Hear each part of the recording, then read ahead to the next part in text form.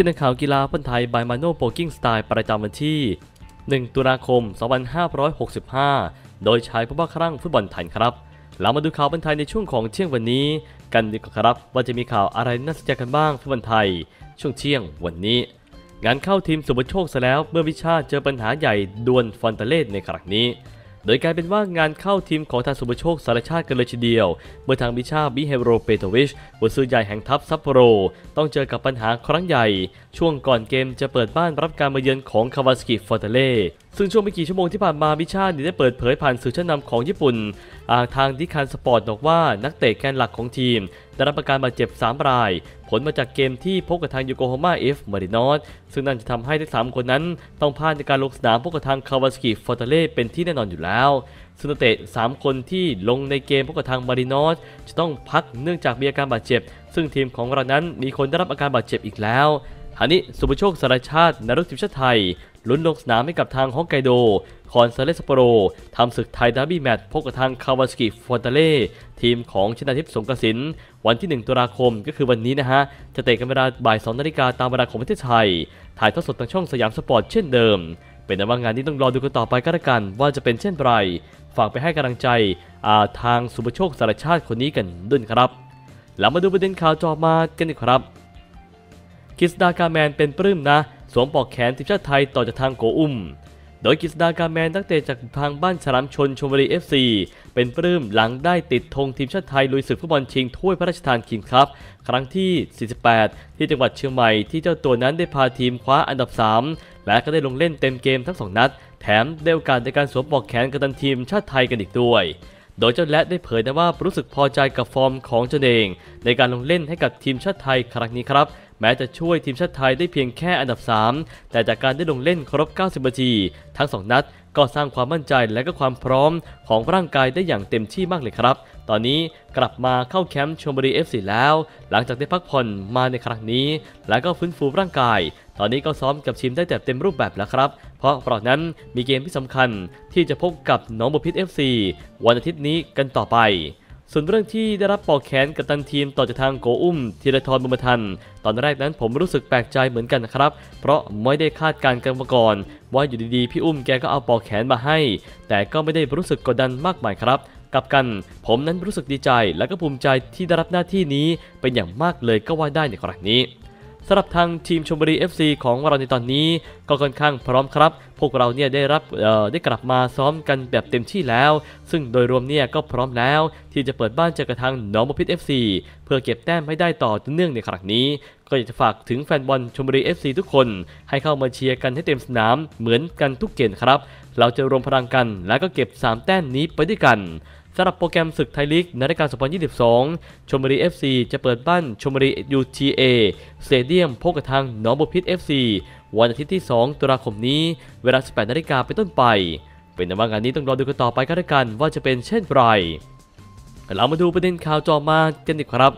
บิ๊กบอลเผยไฟอีกพร้อมจะลุยแล้ว ยันไม่ปิดกั้นแข้งชมบุรีลุยต่างประเทศนะ โดยบิ๊กบอลสสิสิงโตทองผู้จัดการทีมชมบุรี FC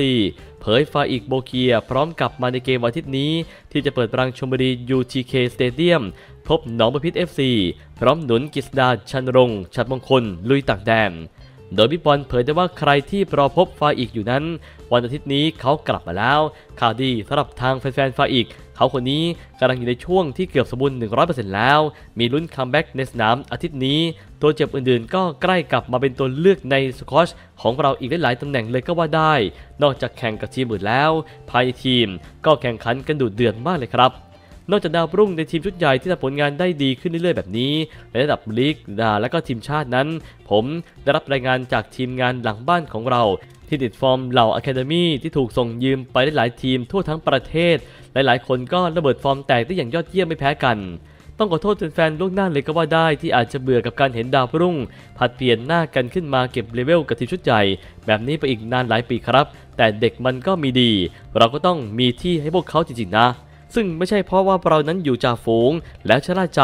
มีเวลาคิดถึงการเสริมทัพในฤดูที่ 2 นะครับ แต่เป็นแนวทางในการทำงานของเราทุกปีอยู่แล้ว ทั้งกิษดา ชันรงชัดมงคล ก็เก็บชั่วโมงบินสะสมมาเรื่อยๆอยู่แล้ว กว่าจะก้าวไปถึงระดับนี้ได้ ถ้าไม่เริ่มในวันนี้ และทำต่อไป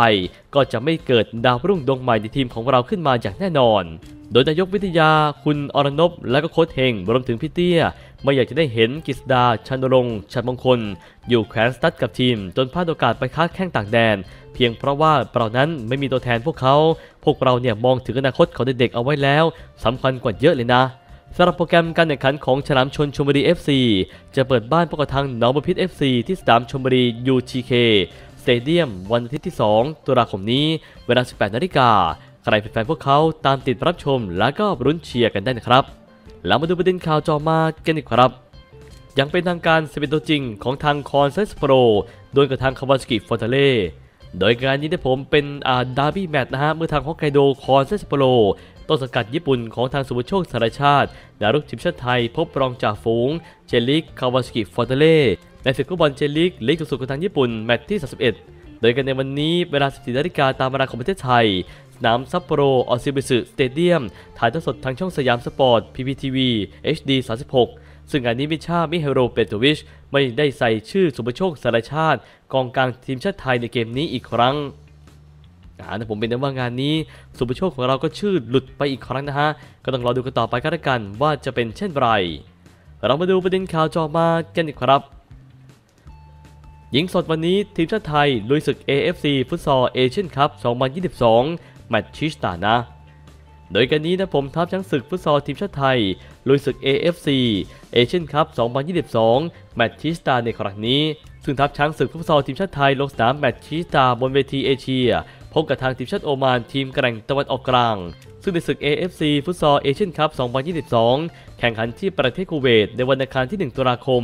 เวลา 21นาฬิกาตามเวลาของประเทศไทยณสนามแซนอัลส์อาบูดาฮอลถ่ายทอดสดทางช่องเอเ e เวนสปอร์ตและก็ AIS Play โดยทีมชาติไทยนะฮะ อยู่กลุ่ม A ร่วมสายกับทางคูเวตที่เป็นเจ้าภาพ อิรักและก็โอมาน โดยนัดแรกไทยนั้นเอาชนะทีมชาติอิรักมา3ต่อ2 เสมอคูเวตมา2ต่อ2 ส่วนโอมานแพ้คูเวตมา2ต่อ7 และก็แพ้อิรักไป0ต่อ5 โดยกรุ๊ป A นั้นก็จะมีคูเวต อิรัก ไทย แล้วก็โอมาน group B ก็จะมีอุซเบกิสถาน บาห์เรน ทาจิกิสถาน เติร์กเมนิสถาน group C ก็จะมีอ่าอิรักอ่าเลบานอน ไต้หวัน และก็อินโดนีเซีย ส่วนกรุ๊ป D ก็จะมีญี่ปุ่น เวียดนาม เกาหลีใต้ และก็ซาอุดิอาระเบียโดยสถานการณ์ปัจจุบันกลุ่ม A นั้นคูเวตนำเป็นอันดับที่ 1 ของกลุ่ม แข่ง 2 นัดมีทั้งหมด 4 แต้ม ผลต่างประตูบวก 5 ทีมชาติไทยตามมาเป็นอันดับที่ 2 แข่ง 2 นัดมีทั้งหมด 4 แต้มผลต่างประตูบวก 1 ตามมาด้วยอิรักอันดับ 3 แข่ง 2 นัดมีทั้งหมด 3 แต้มผลต่างประตูบวก 4 ส่วนโอมานนั้นยังไม่มีแต้มในเวลานี้ เป็นแต่ว่างานนี้ก็ไปให้กำลังใจทีมชาติไทย ฟุตซอลโต๊ะเล็กทีมชาติไทยกันด้วยครับแมตช์ชี้ชะตาเลยก็ว่าได้ ไทยเจอกับทางโอมานในช่วงเย็นวันนี้แล้วมาดูประเด็นข่าวต่อมากันดีกว่าครับ เนื้อหอมเลยนะ สื่อมัมมี่ตีข่าวว่าอัลอาห์ลีหวังจะคว้ามาร์ซินโญ่ปีกฟรอนตาเล่มาร่วมทัพ โดยทางมาซินโยบาโบซาปีกซ้ายแซมบ้าคาวาซากิ ฟรอนตาเล่เนื้อหอมเลยทีเดียวนะฮะ เมื่อเขาคนนี้ตกเป็นที่สนใจของอัลอาห์ลี ที่ดังในศึกอียิปต์พรีเมียร์ลีกที่ต้องการคว้าตัวไปร่วมทีมในช่วงซีซั่นใหม่นี้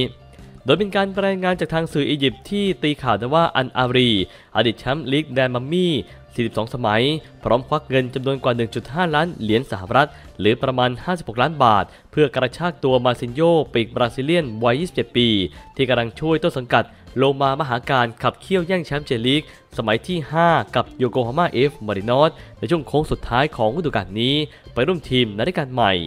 สำหรับผลงานของมาร์ซินโญ่คนนี้ในรายการนี้ ลงเล่นรวมทุกรายการไปแล้วทั้งหมด 35 นัด ยิงไปถึง 12 ประตูกับอีก 4 แอสซิสต์ ซึ่งงานนี้ก็เป็นข้อมูลณปัจจุบันครับ และนี่ก็เป็นเที่ยงข่าวกีฬาฟุตบอลไทย by มาโนโพลกิ้งสไตล์ประจำวันที่ 1 ตุลาคม 2565 โดยชายผู้บ้าคลั่งฟุตบอลไทยครับ